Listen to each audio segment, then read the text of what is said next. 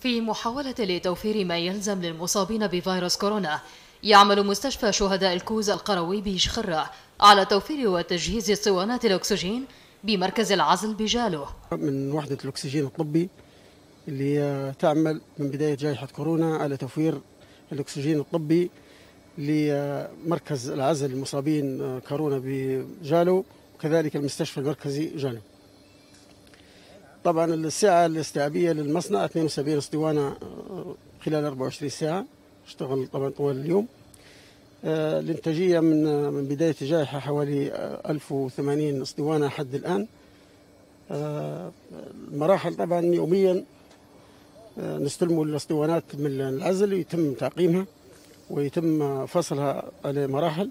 يعمل المستشفى ضمن توفيره للأسطوانات على تعقيمها وفرزها من مراكز العزل بجهود تطوعية وهو من خلال مختصين في هذا المجال.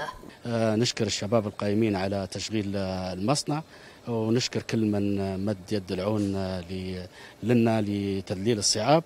طبعا الشباب قيمين على تشغيل المصنع بمجهود ذاتي بارك الله فيهم وذلك لتوفير الأكسجين للمرضى في العزل. جهود تبذل لإنقاذ المصابين والعمل على علاجهم. بالإمكانيات المتاحة بمستشفى شهداء الكوز القروي بشخرة لإدارة الأزمة واحتوائها والحد من انتشار الوباء الذي تفشى في كل أنحاء ليبيا.